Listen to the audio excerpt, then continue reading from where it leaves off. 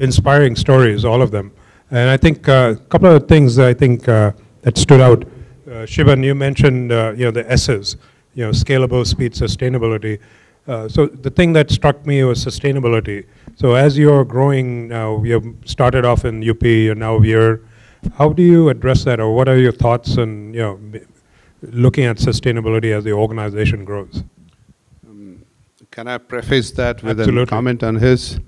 Uh, we run uh, an organization that is ready to experiment of any healthcare conceptual solution or gadgetry solution you have. We have access to 2 million people, from concept to execution is one month. We're designed it that way. So I'm inviting all of you, including him, you want to experiment, see what works, what doesn't work, our platform is ready for you anytime. Uh, like I said, 2 million population, statistically valid data. We'll collect the data for you, feed it back, retweak it, do whatever you want to do. At the end of it, prove or disprove the model. And we've done in, like I said, 25 uh, modules of healthcare, including healthcare finance. I'll come to that in a minute. Something very exciting has happened. And we've done health IT in place in UP, where there's no electricity, no connectivity. Because we've got to solve the problems in real time as they exist, and not dream for a utopia when the politicians get less corrupt, when the potholes are created, when the global warming doesn't happen, then I will come and do the healthcare. It doesn't work that way. The real things. So we are here to help you and create any other model in the audience. That's number one. Number two, to me, whichever way you cut it, sustainability is positive cash flow. If you have positive cash flow, you're sustainable. We are ashamed to say that word because it's kind of shameful word to say that you want to make profits. Unfortunately, in healthcare for the poor, there is no positive cash flow. Healthcare, nowhere in the world, can be sustained only by either insurance companies or rich for the poor, or young for the old, or healthy for the sick. Government subsidy as a part of social justice system in an egalitarian society has to come in. The key is, how can we keep costs low that become sustainable with minimal investment? That's where the cost of healthcare comes in. So we raise our own funds only in the beginning. For example, we run 16 free clinics there. Free in the sense, again, to do a cost model, to find out exactly what is the cost of transaction. So we give all free medicines, all free consultations. It's a walk-in thing. Surprise, surprise, the cost per transaction for any comer that goes in, averaged out, is 12 rupees. In other words, at 12 rupees, I break even. That's my cost of delivering healthcare. We see 150,000 patients a year. So now if I charge 14 rupees, I make profit on this. The problem is, when you see the government system, they spend at least 10 times that money to, to, for the same outcomes. To me, scalability will come if we keep the cost low and the government and the philanthropists subsidize to an extent. I want to give you one more line. Like I said earlier, we work in advocacy, and something fantastic is happening because being in healthcare, I said we got to do two things in the country to make it cheaper and inexpensive. And now working with the higher echelons, two things we started five years ago, give a national health IT infrastructure. That should be the backbone, which is happening now. NIC is developing the software, it'll be cloud-based, given free to all the, all the doctors in the country, just upload it. That's number one. Number two, healthcare finance is what drives healthcare wherever in the world. So how do you deliver healthcare to 1.2 billion people, which I said earlier, can't be done without government subsidy? So we're working on a thing called universal health coverage, that the government of India will provide health insurance for every Indian, poor, middle level, rich level. It's part of the 12th plan, which is just started, was just starting. 1.83% of the GDP will go as health premium insurance for the government, go up to 3% 15 years later. It'll be phenomenal. The 1.2 billion people of the world will be covered from primary to tertiary care, one form or the other. It's already been accepted principle. We are working on the uh, creating pilot studies. We'll do three pilot studies. I'm deeply involved in this. Thank you. That's really exciting uh, news. Uh, Adam, uh, Adam, uh, you have you come from a different uh, focus and different scale also. How do you all think in terms of sustainability, or you know, what is your perception of keeping things going over there for KSV? Well, I guess the main thing for our, our sustainability, because we provide a, a free education, it's a, a financial sustainability that we find a, a financially uh, sustainable model. And this is not something we want to do by uh, putting some of our students to, to different tasks where they do something to generate some income. We feel that, you know, it, it's their childhood, it's, it's the time they should be learning. They need to concentrate on that. It, it, it's our responsibility to get more into fundraising and it's building uh, long-term partnerships with our funders that is going to enable us to, to scale up should we, should we want to scale up. But when we look at growth, we can, we can look at that on, uh, on two ways. One is in terms of quantity and one is in terms of quality. And for sure at the moment, we're, we're focusing much more on quality. We're, we're looking at what, excuse me, we're looking at what we have and we're, we're trying to improve on that. And uh, we're trying to have uh, improve better services, improve our processes, provide uh, better facilities to our students. And alongside uh, funding, which is a, a, challenge to our growth, also uh, human resources is another, another challenge. And this is something that is very much also linked to, to, to funding. As we're a, a, a modest, uh, small NGO, uh, we have a, a, limited amount of funds coming in. It means that you know our, our salaries are also quite modest, it's difficult for a, a small NGO of our size to, uh, to compete with the government. The government, they, are, they offer very nice sal salaries. They offer a lot of fringe benefits. A lot of people are going, going for this for the job security. Perhaps it, it might not be as fulfilling uh, as working in an organization like ours, but it's very difficult for us to compete with that. And over the years, we have lost some of our staff that they've gone across to the government stream. It means then we have a fresh batch of staff come in. Again, we have to, to, to do staff training, capacity building. So uh, the challenges to, to our growth are, are, funds and, and, human resources, which, again, I think are inextric uh, inextricably linked. Steven, you uh, obviously you all have been around a while in a number of countries. Have you all come up with any innovative kind of public-private partnerships or approaches either in the US or elsewhere that has helped you all scale?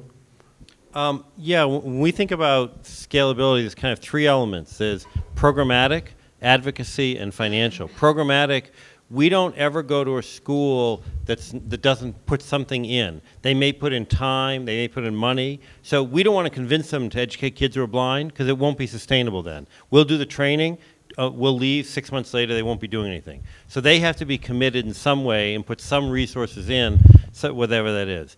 The second thing is parents. Parents are a key element. If we can empower parents, they then will, will be the ultimate educators for kids, but they also will be the ultimate advocates in the government. Um, they'll have a lot more power than I will, than the local school administrator and the teacher. So we spend a lot of time educating parents about the potential there um, and letting governments know about the opportunities. And then the third is financial. Um, for every, we have 300 partners around the world in 67 countries, and of those, for every dollar we invest, they collectively put in $9 so that they put up a lot. That's not every partner every year, but collectively, so that we try to find that sustainability, help them. Uh, so one of the things we may do is we may do a seminar for a local school on how they can do fundraising. So it's not part of our official job, but to get them going as, as part of that element. And so there's an educational uh, sustainability, there's an advocacy sustainability, because ultimately we want the government to take responsibility. Um, I'll never forget, I've been in three countries, this didn't happen in India, but in, uh, in Africa and Eastern Europe, where government ministers said to me, we don't think kids are blind should go to school. I mean, it's just very simple. Not, it wasn't, they weren't, weren't really debating it. So you're, in some cases, starting with those areas, or in some cases, starting with religious issues or issues of karma or other kind of beliefs. So we have to, we have to deal with those stigmatism. There's a, a woman I met in, um, in, a, in an Arab country who, she, she's blind and she didn't have a cane, and because if she had a cane, her brother would never get married because the belief in the village was that if she had a disability, they, all the family would have a disability. So there's a lot of those issues to try to raise awareness as part of that, as part of the sustainability. Uh, Mahantesh, you know, every time I meet you, you have yet another new program that you come up with. how do you find the resources for this? Or what are some of the innovative kind of sources to help you scale? Uh, you know, some interesting partnerships with the government. Uh, what what has Samarthanam done that helped it get to where it is? Thank you. Uh, so three major uh, focus of Samarthanam. One is uh, being innovative to the growth, and three sustenance. and uh, we keep adding new programs every now and then. Uh, so majorly what we do is we network and partner. Like I mentioned about the Srishti, the call center training, it's a public-private partnership. So uh, DFID, uh, international agency uh, funded government of India under capacity building for poverty reduction. They funded uh, to set up several initiatives to poverty elevation. So they gave uh, part of the grant to government of Karnataka, which they in turn routed it to Samarthanam. But that money was not full. So what we did is we requested couple of corporates and also Deshpande Foundation. Deshpande Foundation gave away the space which we inaugurated here, and a software company came forward and chipped in the balance. So Samarthanam, uh, in its uh, 16 years of uh, close to 16 years journey, has uh, uh, built goodwill and uh, corporate partners and government departments, both departments which work for disability, department for education and human resource. So we uh, work very closely with them and uh, with some of them we also discuss at a policy level. Uh, so as a part of our advocacy initiatives, we keep organizing several events like the T20 World Cup and the National Chess Championship for the blind, like this. So we invite the bureaucrats and the corporate captains to be uh, guests and witness the happenings. So that is one of the selling strategy which Samarthanam has been very uh, consciously doing it. And uh, as Adam said, human resource is a big challenge. So what we do is we uh, extensively work on capacity building with the team in Samarthanam. Uh, and primarily, uh, it's my dream. Uh, we should have as many visually impaired as possible as the marketing officers for Samarthanam who could themselves go and promote and propagate this. And also, I uh, tell my visually challenged folks that they should become the taxpayers of the country rather than depend on the doles of the government. So, uh, some of these uh, thoughts which uh, we constantly talk about and uh, events we organize and uh, the reports we send it to our stakeholders, annual reports and audit reports, abstract of the audit reports, and the media. The major uh, development of Samarthanam or the growth has been huge support from the media, sir. So we don't shy away from media. We don't uh, uh, kind of keep ourselves away from publicity. We believe uh, if we can uh, uh, talk about Samarthanam, the good activities we are doing in media and through other promotions. We also display hoardings whenever when we organize events. We liberally distribute flyers about the event. So that way you kind of communicate uh, what you are doing to the mass. So uh, neighborhood community support for Samarthanam has been the major sustainability, and uh, they go and talk to their companies, bring money from their companies. So like this. So involvement of um, most people uh, from different walks has been one of our success. So hope I answered in brief, sir. No, thank you, thank you. So Ramesh, uh, you know, obviously, thanks for sharing those couple of examples of starts that didn't work. Uh, I mean, now you're looking at uh, this new approach that you're going to be taking. How are you? Uh, so, what's the for-profit, non-profit kind of components over there? How are you all wor- working with that? You know, the, how do you maintain a social mission while you're still trying to? I'm assuming a for-profit kind of scalable approach. Yeah, so our, our uh, after talking to our mentors and, and talking to a lot of people, um, it, it was very clear that we have to set ourselves up for scalability because the problem is too huge and, and showing success in a, in a small segment or, or a small city will not, be, will not be enough. So that's our hypothesis. Uh, and the hypothesis is that if we co-opt the existing players uh, in this particular market, which is optical stores and, and, and doctors and ophthalmologists, if we give them enough tools to be powerful, they in turn will do the social uh, inclusion for us because they will continue to make profit down the line. And when we talk to all the stakeholders, you know, all the way from uh, governments to big uh, aid organizations to eyeglasses makers to frame makers to eye clinics and so on, uh, and they all said, uh, we'll be able to come up with uh, flow of money so that the service is delivered to the people who cannot afford it. But, but show us that you can scale to tens of thousands and millions very quickly.